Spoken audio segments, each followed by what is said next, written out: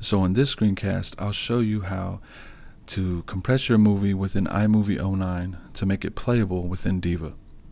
So I have iMovie here and I've already put together a movie. Uh, it's just some simple plants here with some cross dissolves. You can take a look at it. Um, nothing too hard, but it's definitely ready to export. So what we'll do is we'll go up to the top menu bar. We'll press share and you go to export using QuickTime. Okay, so once again, of course, give your movie a name. The name of mine will be Plant Movie, and you'll want to give it a destination, and I'll save my movie to the desktop.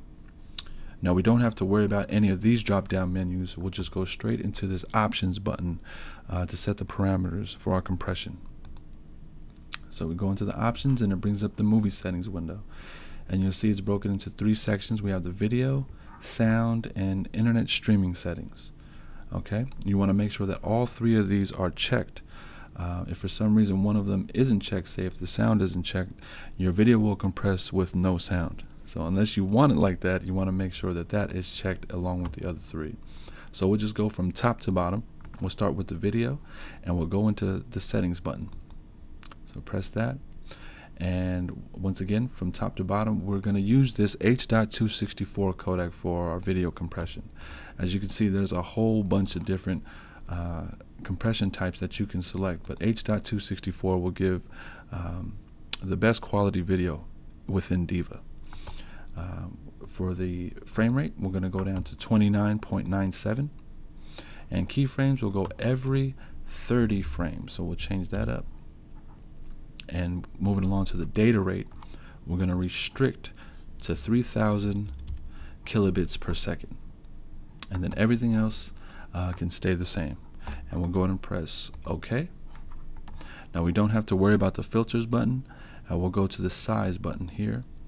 And this is important where you have to know what you shot in within the Sony Handycam to make sure that it matches uh, when you compress out of iMovie. So uh, in this particular movie, I did shoot in uh, widescreen, so I'm going to use this NTSC 720 by 480 16 by 9, and that was shot in standard definition.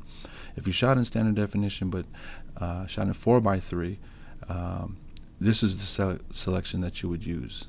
NTSC 720 by 480 4 by 3. And if you shot in high definition, high definition is automatically widescreen. So you would use uh, one of these selections, whatever it is that you used um, while shooting with the Handycam.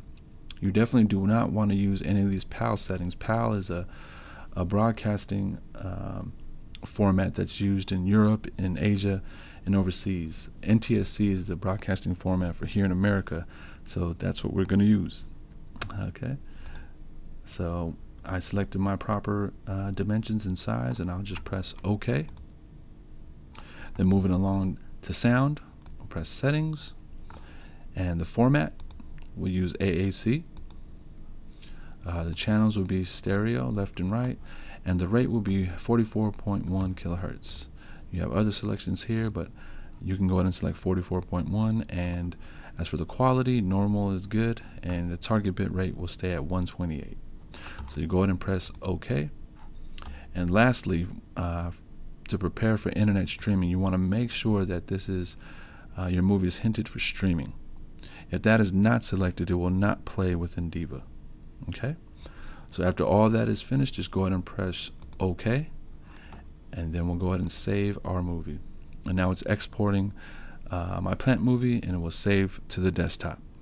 So my movie has done compressing and it's right here on the desktop. We can take a look at it. I'll go ahead and minimize the iMovie and we'll go ahead and double click and play this for a second. And there you go. And this video was again shot only in standard definition. As you can see, the quality is actually really good. So this video is now ready to upload into Diva.